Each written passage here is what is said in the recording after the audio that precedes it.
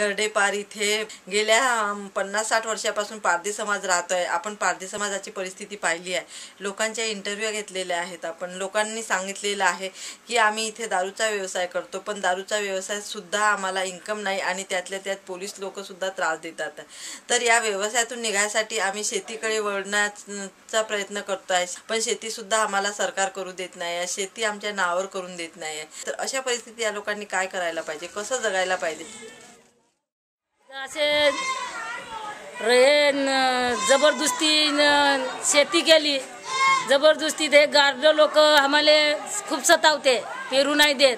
आम्ही लपू चोरून पेरतो तेव्हा आम्ही सोयाबिंगी सोंगतो तेव्हा करतो बंडी बैल्याने ते रोखून घेते तिपणागी पेरू नाही देत आम्हाला. मग असेच रोज मजुरी करू करून खातो आम्ही.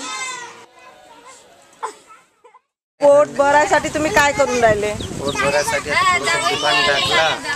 त्याच्यामध्ये आता पोट कसे जगून राहिलो. हे आता समजून चाललं आहे इथं काही का तेवढे मोठे फार लोक नाही आहे.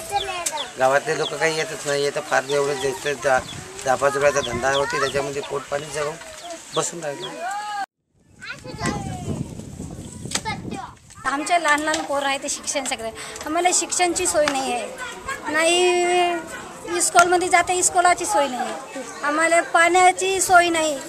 कास्ते करायला जातो कास्ते करायला जंगलात जातो कार्यालय तर कार्यासोबत मारते आम्हाला. शिकारीला जातो शिकारीसोबत मारते आम्ही. आम्ही कोणता धंदा करून खावा? तर आम्हाला शेती नो- शेती नाही आहे काही नाही आहे.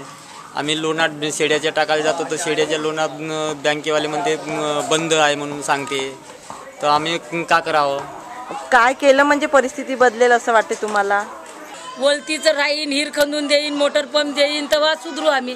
तेव्हा क नाही तर असं को कोणी वस्तू सुधरू शकते का रोज मजुरीनं? आमच्याजवळ कोणती उपयोगच नाही राहीन. तर आमच्या मुलं बाला कायच्यानं शिकवू? तसे अंफरचे अंफरच राहीन ना? शिकायची काही सोय पाणी नाही राहीन तर आम्ही शिकवूच काय? मग हे गाड्या लुटू ना आम्ही. चिबा लुटू गाड्या लुटू एस टी मोटर लुटू. आमची सोय राहीन तर आम्ही लुटणार नाही. अशा परिस्थितीत यांची मुलं साहजिकच चोर चपाट्या करण्याकडे वळतात आहेत. आणि त्यांना आपण समाज सर्व समाज चोर चपाट्या म्हणून म्हणूनच बघतो आहे तर यासाठी जे शेती हे लोक परंपरेने करत आलेले आहेत तर ती शेतीसुद्धा शेती यांच्या नावावर करून दिली तर हे लोक सन्मानाने जगू शकतील आणि सन्मानाने आपलं जीवन जगून माणूस म्हणून जगण्याचा प्रयत्न करू शकतील. अलका माटे महाराष्ट्र नागपूर जिल्ह्यातून इंडिया अनहरसाठी.